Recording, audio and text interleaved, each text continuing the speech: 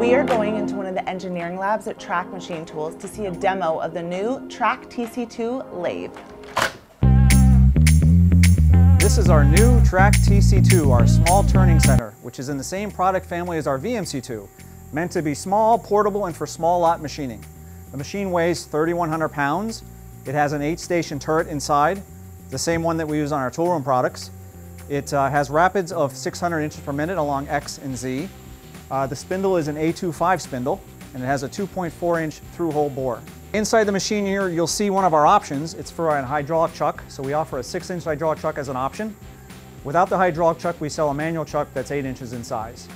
Also over here, you see that we have our eight station turret. It's from our toolroom products, and it uses three quarter inch tooling. Some other uh, options that we have on the machine is we have it come in two different configurations. There's a low speed version and a high speed version. What you're looking at here is our high speed version and it runs the spindle up to 4,000 RPM, whereas the low speed version runs to 2,500 RPM. And so the user can choose which configuration he wants and it'll leave the plant that particular way.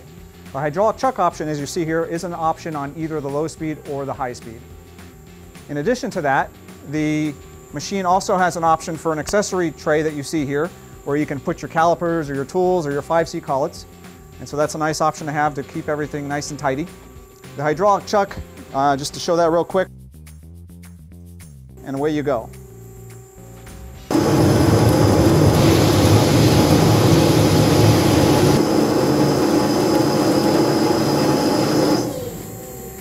The maximum capacity in terms of diameters you can cut is 8 inches, and we have about 11 inches of travel on the z-axis, so it's a generous work area for you to do various sizes of parts. The TRAK TC2 comes in a 200 volt configuration standard from the factory, but if your factory has 480 volts, we can offer a transformer option that mounts underneath our electrical cabinet as shown here.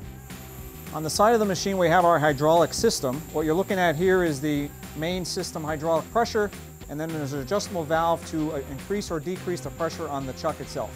One of the nice things about our hydraulic system option is we build the hydraulic system and tank directly into the base of the machine. So if you choose to pick up your machine and move it around your shop. You don't have to worry about carrying the hydraulic tank as a separate item. Okay, so let me talk a little bit about the ProtoTRAK control that's on the TC2. It's pretty much the same that we have on our toolroom products, but let me point out a few things that are different.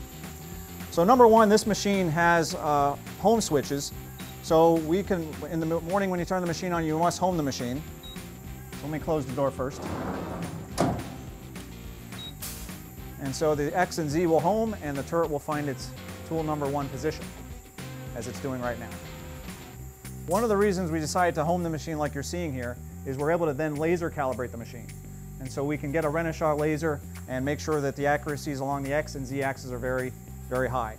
Once it's done, you can go ahead and do a warm up on your machine, whether you want a 10 or 20 minute warm up. And if you go ahead and press 10 minute warm up, I hit set Z and then I will press go. And it'll go ahead and warm the warm the machine up. So if you're doing high precision work, you might want to warm your machine up in the morning uh, so it's ready to go when you put your first part in there. In terms of the control, as I said earlier, it's very similar to what we have on our toolroom products.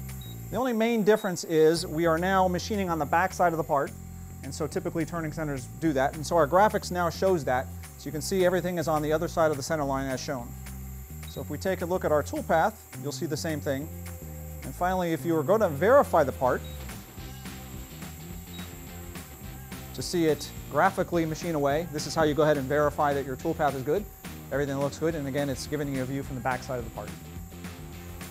Other than that, the rest of the control system is very, very similar to what we have on our other products. Of course, you won't see the new TRAK TC2 in an engineering lab, but we have open houses all over, like the one happening in our factory right now. Contact your local TRAK rep or go to our website at trakmt.com to set up a demo. We look forward to hearing from you.